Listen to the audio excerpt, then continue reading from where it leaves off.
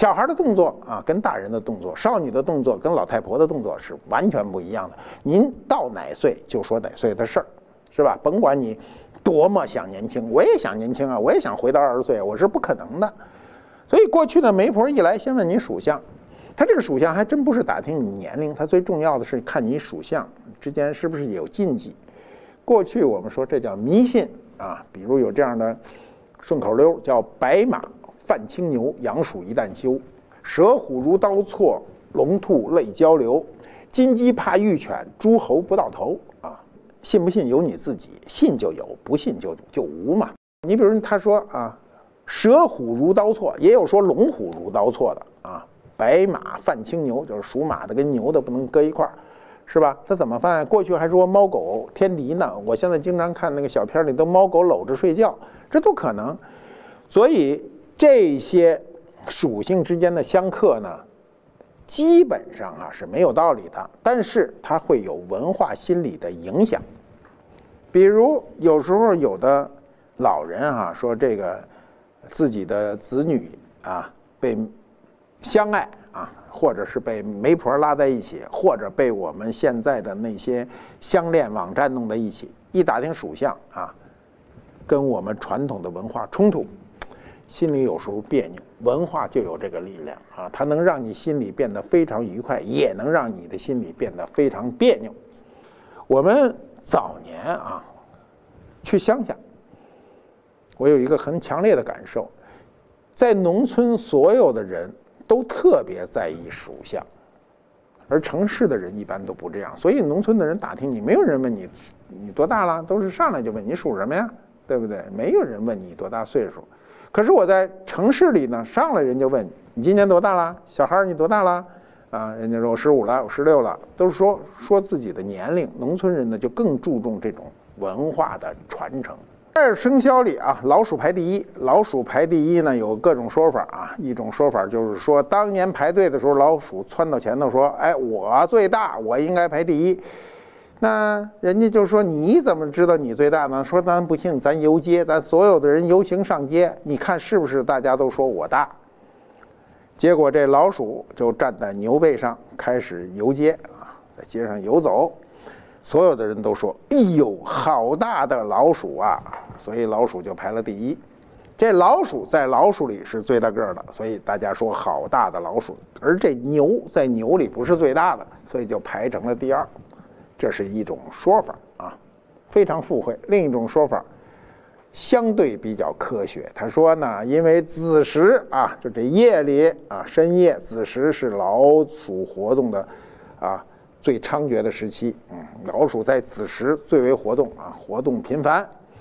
那么老鼠只能半夜出来，白天你看不到吗？所以你夜里啊，有时候你回家晚了，那我过去我走的这个夜里回家，在胡同里都能看见老鼠，对吧？可是你说按照这个顺序排，老鼠是对的，其他动物都不对，所以这事儿看似科学，实际上也牵强。你比如说寅虎啊，寅时呢是指早晨三点到五点，三点到五点，那老鼠老虎啊就回家睡觉去了。老虎都是夜里活动，一到天快擦黑了啊，你读读这个。这个《水浒传》啊，你读读这个武松过景阳冈啊，未时已过就不许上山了。未时是指下午一点到三点，三点以后老虎就可能出来了啊。那么武松喝大了，就这时候上山就碰见了老虎。老虎是傍晚活动的，夜间捕食的，早上就回去睡大觉了。所以你按照老鼠的活动去看老虎啊，这事儿有点绕嘴，它就不那么贴切。所以这事儿。也基本上都是瞎说。那么这十二生肖为什么有这么一个排序呢？说句实在话，多少学者学者研究了这么久，也没有一个令人说服的答案。说白了，就是一习惯。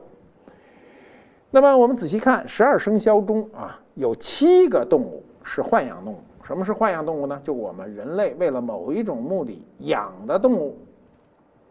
这个养是普遍的养。不是今天你当宠物，比如今天还有人养蛇呢，这在古代没有的事儿。那么主要有什么呢？有牛、兔、马、羊、鸡、狗、猪啊，那么这个牛呢、马呢，这都是帮人干活的啊。这个鸡呢，它当然也是不是帮人下蛋，是下了蛋给人吃的啊，帮人打鸣啊。狗看家啊，猪吃肉啊，羊也是吃肉，等等。那么这七个动物呢，是主要是豢养的。另外四个呢是野生动物，比如老鼠啊、蛇。蛇和老鼠相对，在过去的那个日子里跟人还比较近，就是你住的地方就可能看见老鼠和蛇，但是猴和虎就相对远一点。这里只有虎比较凶啊，所以过去说谈虎色变。七加四十一，还差一个，这就是我们的神兽龙啊。这龙很有意思，这一组合很有意思。这一组合你算算，七个正规军。四个野战军外加一神兽，你想这多好的一个搭配，这混搭的搭的特别的好。我就老想哈，我们为什么没有人啊把它写成一个剧本，拍成一个大片儿，叫《中国生肖》，打到国际上去啊？你不要等人家好莱坞哪天拍了一个电影叫《中国生生肖》，我们才恍然大悟，说哎呦，我们这么好的题材，我们自个儿没拍，对不对？一定我们自个儿拍一大片，就叫《中国》。生肖啊，这十二个动物一块上场，你想想这动物的构成就特别有意思，有跟人亲的，有跟人不亲的啊，有让你看着胆战心惊的，比如蛇，一般人都怕蛇嘛，啊，比如还有这神兽这龙，这龙外国人也能接受啊。最近我们看什么《大圣归来》，那龙就有龙吧，啊。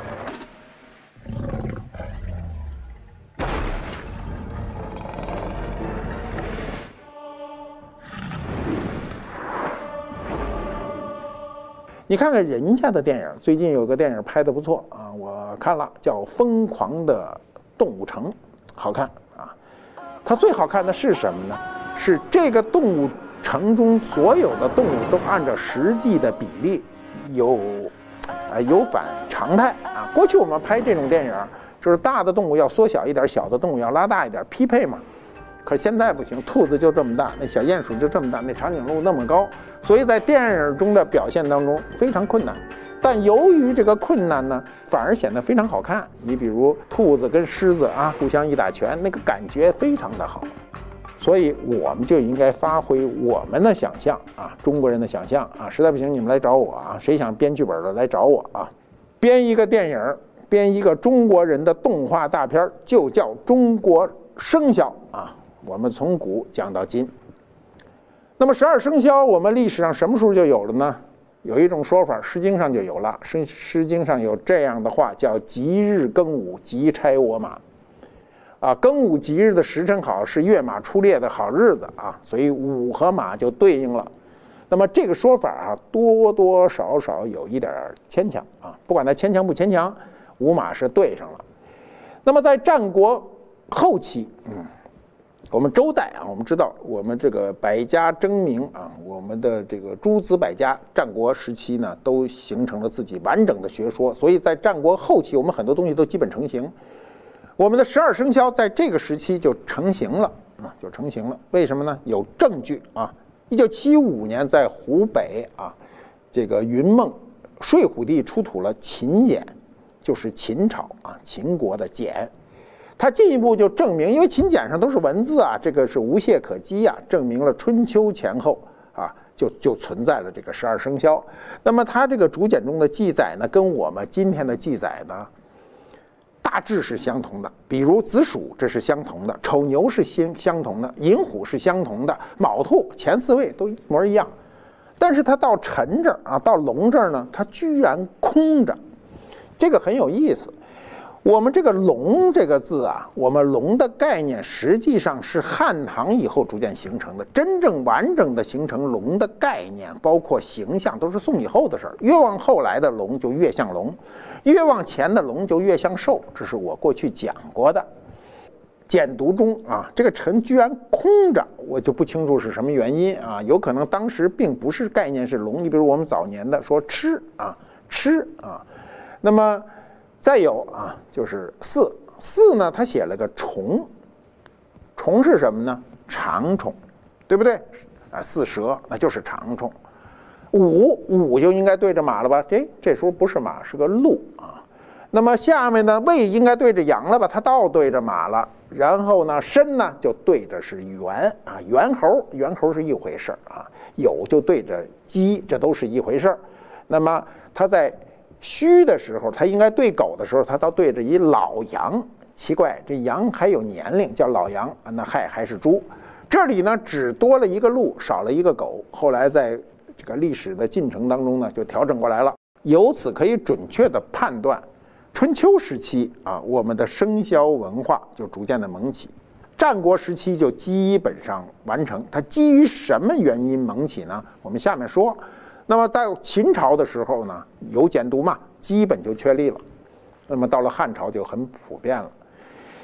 我们古代啊，就是百姓非常，就老百姓啊，非常崇拜这种动物。为什么崇拜动物呢？是因为我们对大自然中的认知是有有限度的，没有我们今天科技的东西。比如今天一个孩子生下来，他所接触的一切都是百年以来科技成果，对不对？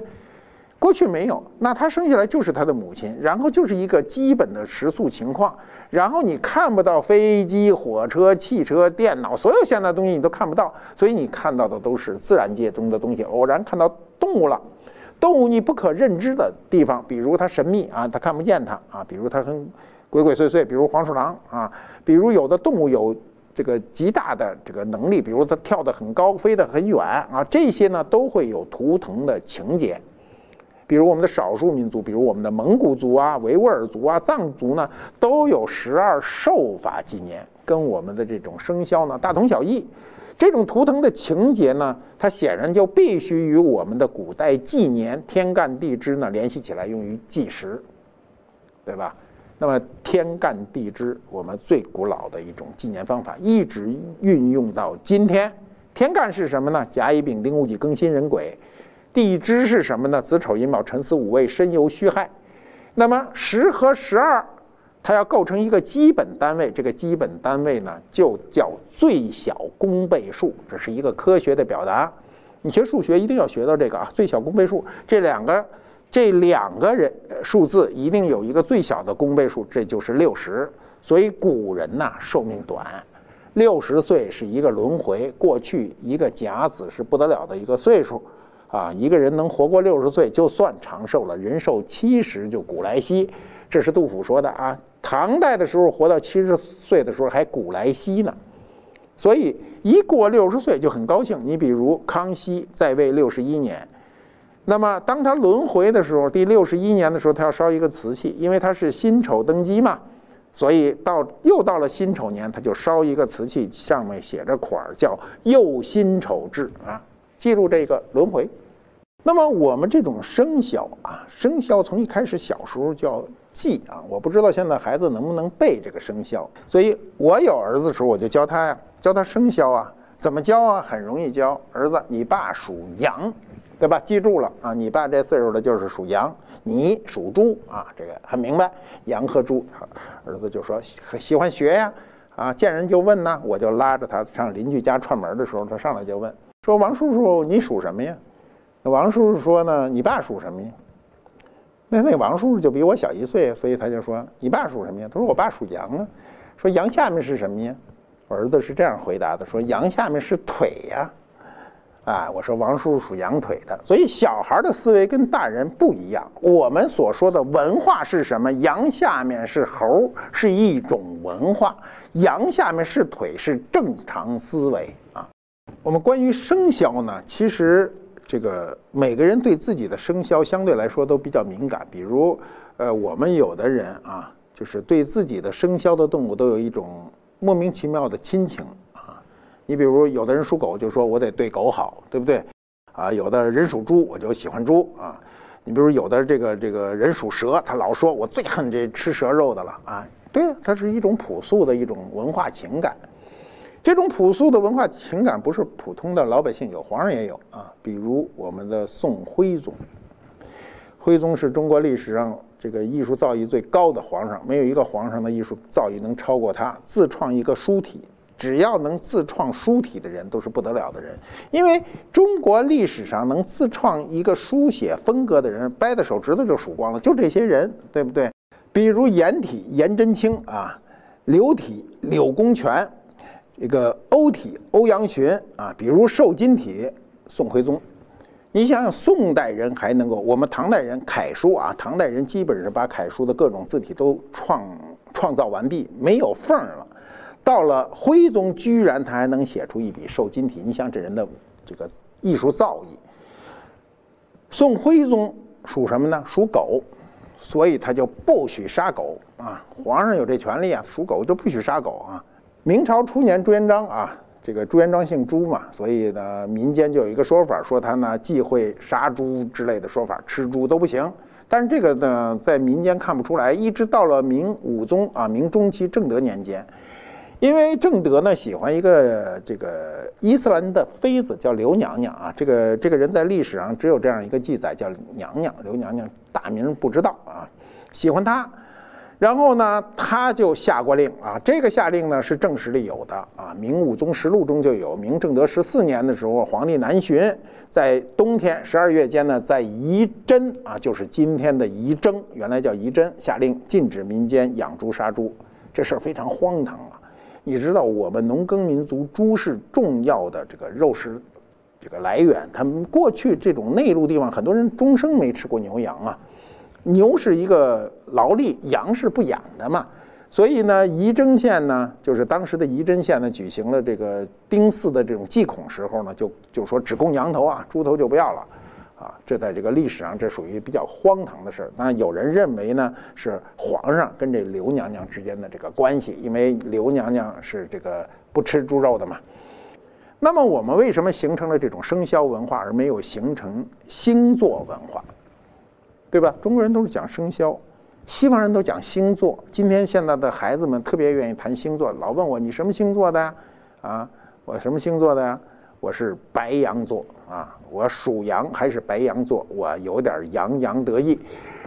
那么生肖文化啊，我认为这种生肖文化是跟这个农耕文化有直接关系的。因为我们生肖文化中的这些动物都是极为常见的东西，我们说了，大部分都是豢养动物，再加上一些膜拜的，比如龙，是吧？那星座就不一样。我们早在三年三千年前，中国人也发现星座，也有星座，但是西方的文化源于它的游牧文化，牧羊人呢，他以放牧为主，他跟农耕文化的这种豢养不一样，农耕文化都在一个地方不挪动啊，就在一块地方，呃，过终生。游牧文化呢，要不停地走。不管是打猎还是放牧，他要仰望星空啊，通过星空来判断这个这个季节，判断时间的长短。所以农耕文化一般情况下就看得比较长远，所以要买土地，要有财置财产，所以我们都就非常物化，要看一年的变化，我们至少要看一年春种秋收啊啊，要看一年。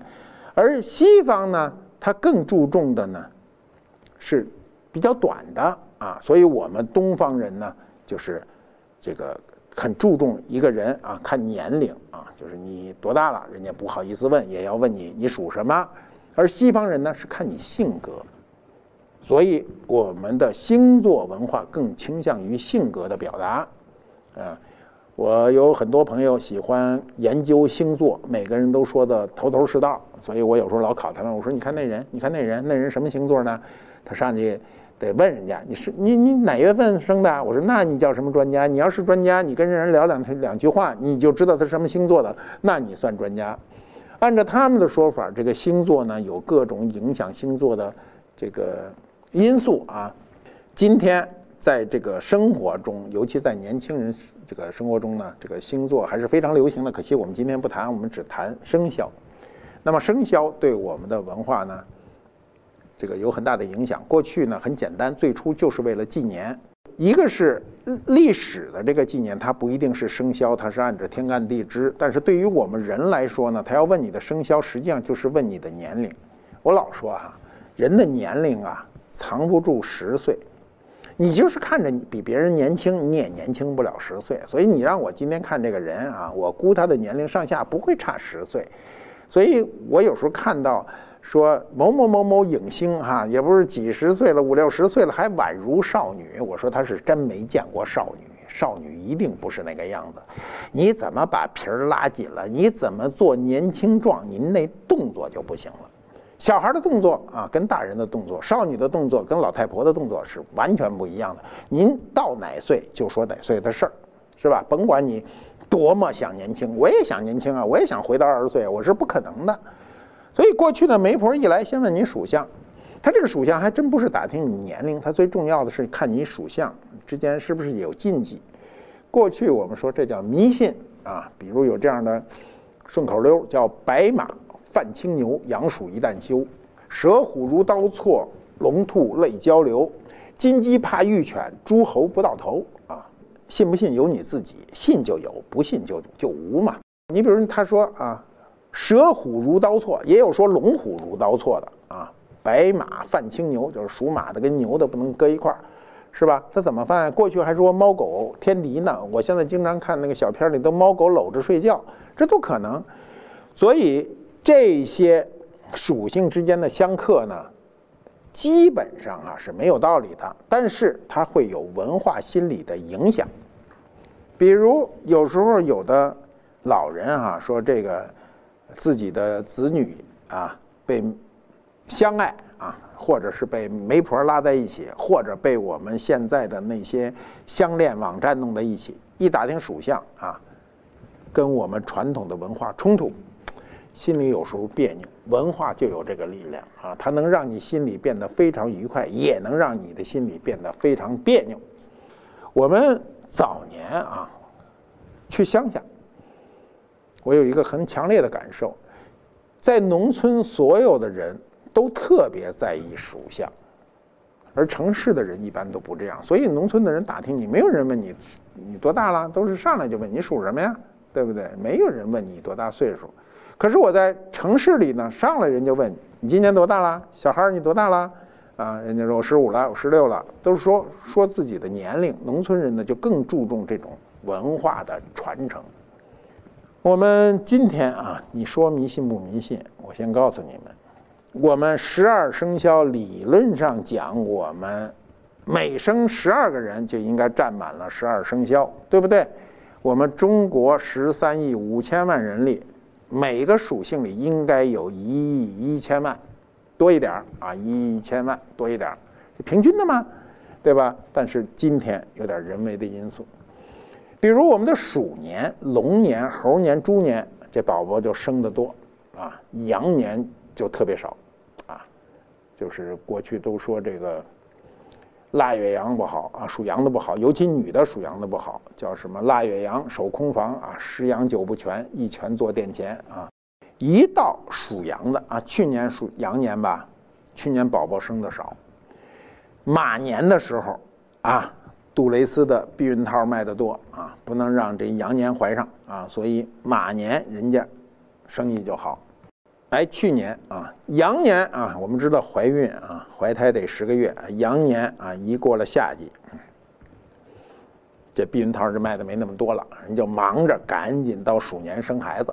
这都是我们的一种文化心理啊！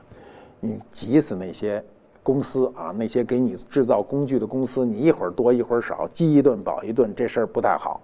你说属羊的不好，尤其属羊的女子不好，那分你怎么说。啊，我们举一个极端的例子，慈禧太后，慈禧啊，这个十羊九不全啊，这话就是清末才流行起来的。慈禧太后属羊嘛，所以人家就编排她说十羊九不全啊。慈禧太后这老太太啊，当年也是年轻的小姑娘，你说她生活好不好？第一，人嫁一皇上；第二，人生一皇上；第三，人还立了俩皇上。自己虽然没当皇上，这权力比皇上还大。慈禧太后啊，执政四十八年。你想想，我们执政四十八年有多长呢？中国历史上当皇帝超过这个岁数的啊，不是这个岁数，超过这个年限的，一共有最长的康熙六十一年，他孙子乾隆六十年。那么，呃，汉武帝啊五十四年，在下面有两个四十八年的，一个是梁武帝，一个是明万历皇帝，万万历四十八年。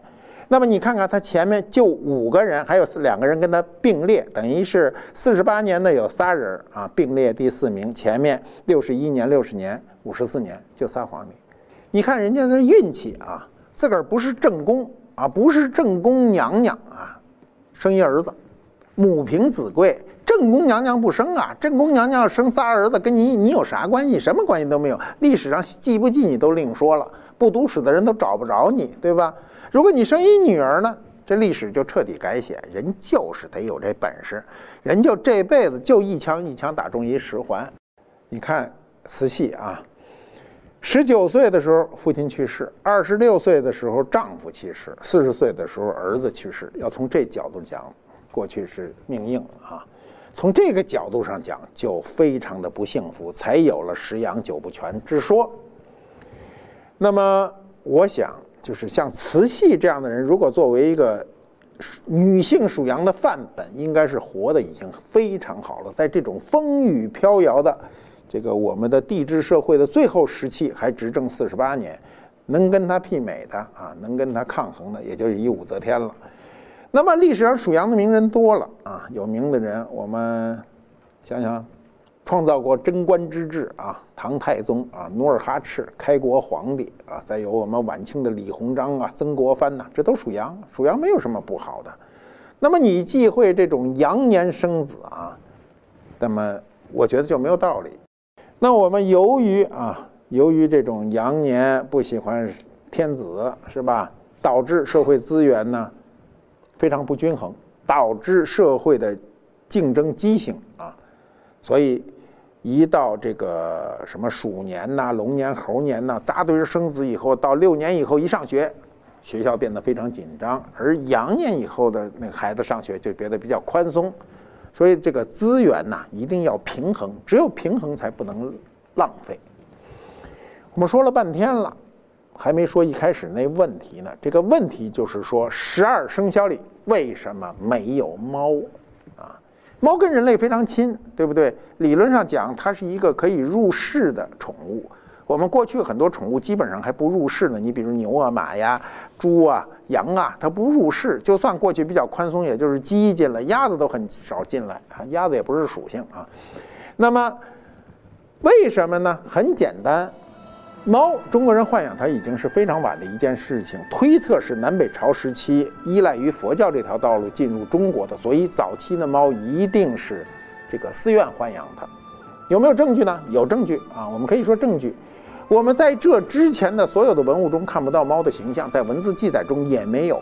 你们有机会去西安，一定到这个汉景帝这个汉阳陵的这个墓葬那儿去看看，它出土了大量的动物。比如牛、马、羊、猪、狗、鸡、鸭，所有人类豢养的东西都有，甚至有鱼，但它就没有猫。我们在其他的文物中啊，根本找不到这个猫的形象。所以你想想，在战国时期，我们的十二生肖就形成了，但那时候猫并没有进，就是我们说的猫是指人工饲养的猫，并没有从埃及引进中国，所以中国人没有见过猫，没有养过猫。所以就没有猫这个概念，所以十二生肖中就没有猫，就这么简单。那么还有一个证据啊，你们如果有机会去读读唐诗，我们有机会再给你详细的讲。唐诗五万首，唐诗中直接写到猫的大概就三首，三首中两个还是和尚写的，可以证明从侧面证明它跟佛教有关。但是到了宋以后啊，就多了。你像唐朝啊，李白、杜甫、白居易这样的大诗人都没有写过，但是到了宋朝，你像黄庭坚就写过写过“养得狸奴立战功”，说的就是猫。比如秦观就写过“雪猫细扑风花影”啊，写的非常美啊，写的都是猫。宋代以后，绘画中大量的猫的形象就出现了。嗯，元代啊，张国斌有非常著名的一句话，叫“莫道出家变受戒，哪个猫儿不吃腥”，这句俗语流传最广。